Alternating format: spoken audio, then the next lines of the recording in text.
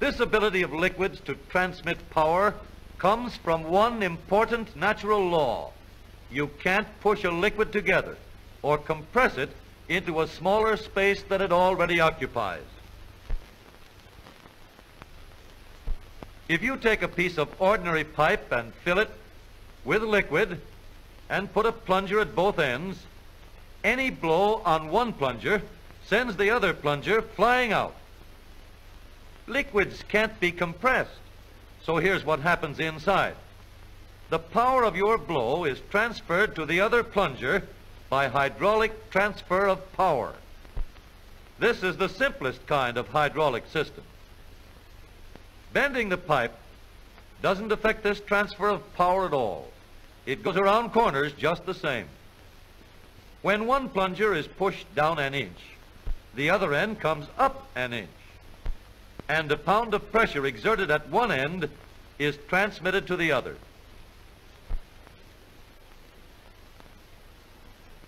Suppose we have four pistons at one end and only one at the other. Now when the single piston travels four inches, each of the four at the other end travels one inch. A large piston of the same area behaves the same as four smaller pistons.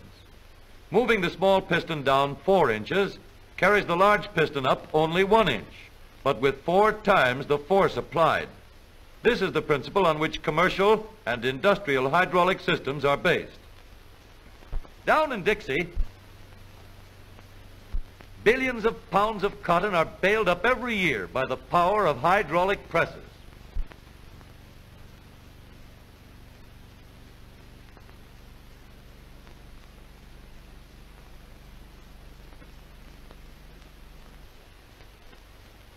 With Uncle Sam's long-range guns, not only are power and reliability needed, but minute precision is required.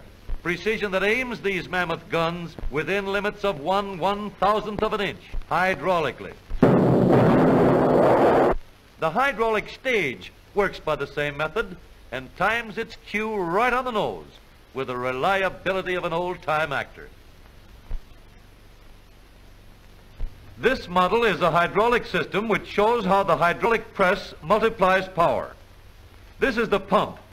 This tube holds the liquid through which the power is transmitted, and these four cylinders at the other end receive the power. The movement of the large piston compresses or crushes anything put in the press. The hydraulic stage operates with the same reliable elements.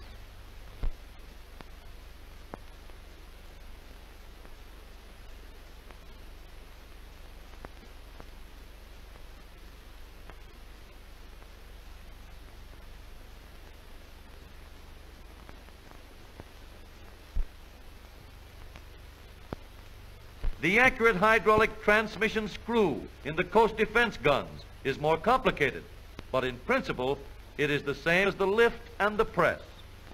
In any hydraulic system, regardless of how many cylinders are attached to a master cylinder, each of the small cylinders receives the same amount of pressure and moves the same distance as the others.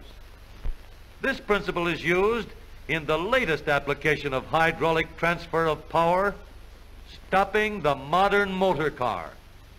The master cylinder is placed under the brake pedal, and the power cylinder is put in the brake of each wheel.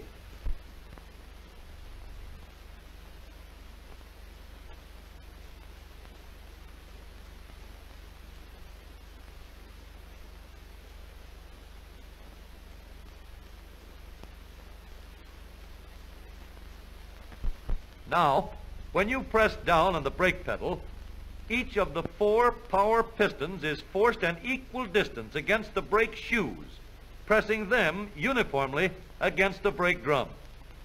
The shoes are hinged in such a way that the entire lining contacts the drum throughout the life of the car.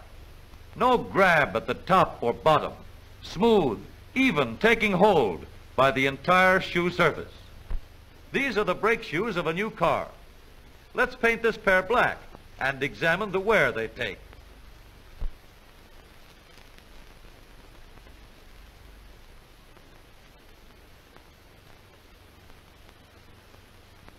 Note the even grip on the shoes in the first 20 miles.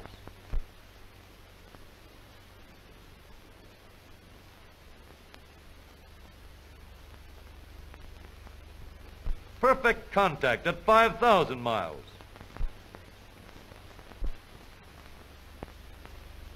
And after 20,000 miles, uniform wear and still good for many more.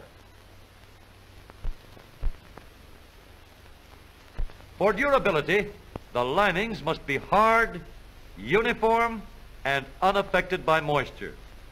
All else being equal, long life and effectiveness of the brake depend on the amount of material contacting the drum. Brake drums must be wide and large in diameter, smoothly machined on the inside.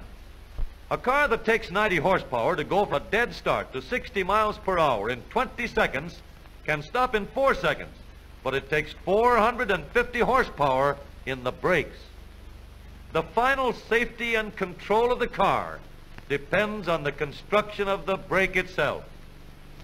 It is the brake itself that stops the car, not the hydraulic control. Perfected hydraulic control transmits the power from the foot pedal to the brake itself and gives you the sure, quick stopping safety of the modern automobile.